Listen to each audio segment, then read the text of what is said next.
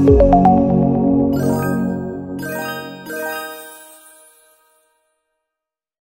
jednej strony prowadzi zrównoważoną gospodarkę leśną po to, żeby, e, żebyśmy e, mieli tani i, e, i ekologiczny surowiec, ale również, a przede wszystkim dba, dba o to, aby w tej perspektywie pokoleń nasze lasy rozwijały się i tak jest rzeczywiście.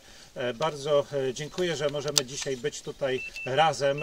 Te podziękowania chciałbym dzisiaj również skierować do tych wszystkich, którzy zaangażowali się w akcje obywatelskie w akcję obywatelską e, zbierania podpisów w obronie polskich lasów, bo e, polskie lasy e, były niestety i są nadal atakowane. Te ataki były związane chociażby z pomysłami jeszcze w czasach rządów Platformy Obywatelskiej przed 2015 rokiem z pomysłami prywatyzacji lasów.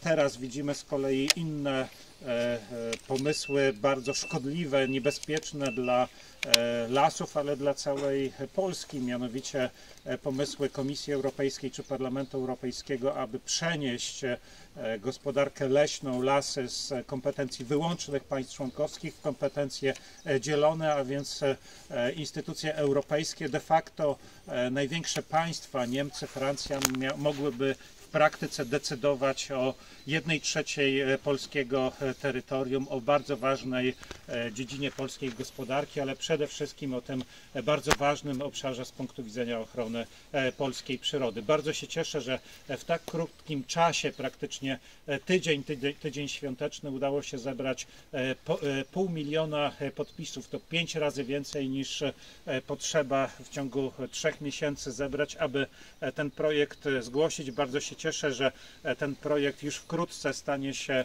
e, przedmiotem obrad polskiego parlamentu, bo jego celem jest rzeczywiście ochrona polskich lasów e, przed sprzedażą, przed prywatyzacją, przed ingerencją dużych państw Unii Europejskiej właśnie w polskie lasy. Ale dzisiaj, drodzy Państwo, akcja związana właśnie z sadzeniem, z pokazaniem, jak polskie lasy, lasy państwowe dbają właśnie o nasze narodowe dziedzictwo, dbają o E, przyrodę i dzisiaj z nami jest bardzo wiele organizacji, e, instytucji. Jest ich tak wiele, że pewno wszystkich nie wymienię. Pan nadleśniczy mam nadzieję e, mnie uzupełni, ale bardzo się cieszę, że są z nami terytorialsi. Przyjechał z nami również pan dyrektor Marcin Mazurek, Mazurek z Ministerstwa Obrony Narodowej. Są więziennicy, pan dyrektor Piotr Burak z funkcjonariuszami. Są też osadzeni, którzy, którzy też w ramach e, współpracy, którą e, Nadleśnictwo Biała Podlaska e, podpisała z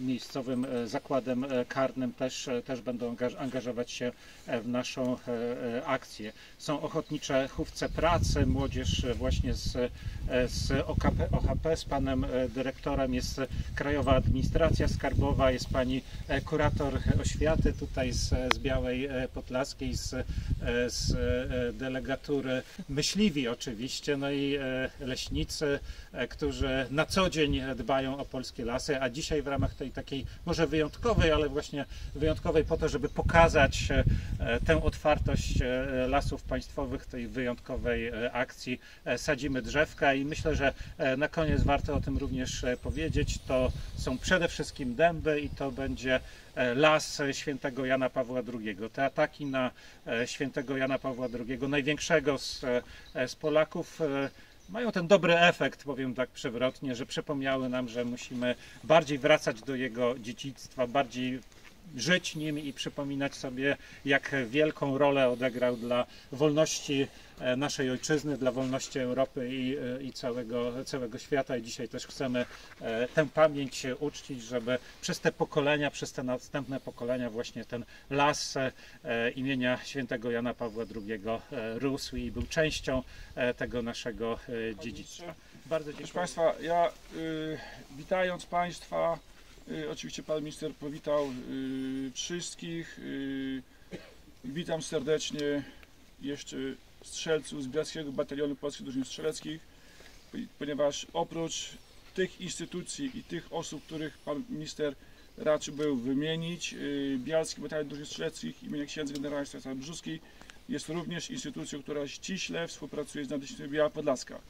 Witam serdecznie Państwa y, media, dzięki, dzięki którym ta nasza informacja zostanie przekazana, przekazana y, szerszemu, szerszemu gronu. Proszę Państwa, znajdujemy się na terenie leśnictwa Szadek. Za chwileczkę y, pan leśniczy leśnictwo Szadek Andrzej Skrzypczak y, dokona instruktażu stanowiskowego. Musi powiedzieć, musi nas przeszkolić, jak należy sadzić, czyli generalnie zielonym do góry. Tak my leśnicy się, się śmiejemy oczywiście. Y, Posadzimy dzisiaj dęba szypułkowego w ilości około 2000 sztuk na jednym, na jednej kwaterze, na jednym tak zwanym gnieździe i to rzeczywiście, jak pan minister powiedział, y, w przyszłym tygodniu upamiętnimy to wydarzenie, y, ustawimy specjalną tablicę, która będzie poświęcona świętemu Janowi Pawłowi II, największego, największemu z Polaków. Państwa, dziękuję za, za przybycie i żeby nie przedłużać, proponuję, żebyśmy się wzięli za robotę.